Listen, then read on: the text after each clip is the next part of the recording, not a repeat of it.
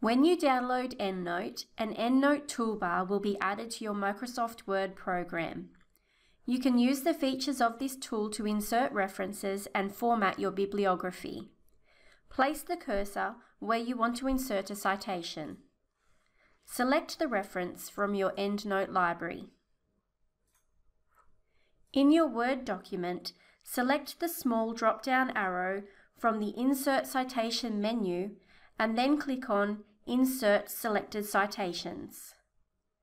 To select multiple references, select them in your EndNote library.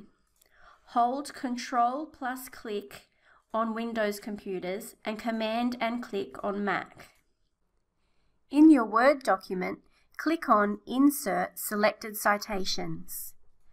You can see the in-text reference being inserted correctly and the corresponding references are inserted into your bibliography, formatted to the referencing style you have chosen. This can be changed to another style from the Referencing Styles drop-down box here.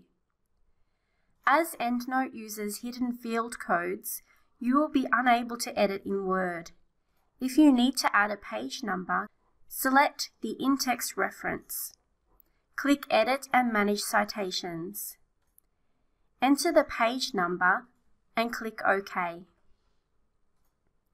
To delete a reference, highlight the in-text citation.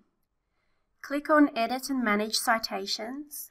Select Remove Citation. If you see an error, you will need to make the edit to the EndNote record. For example, if I knew this was the wrong year, I would go to EndNote, open the record, make the change and save.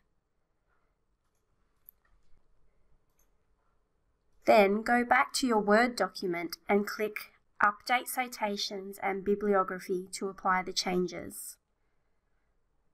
Remember the information in your Word document is being drawn from your EndNote library. If you need further assistance, please see the EndNote guide.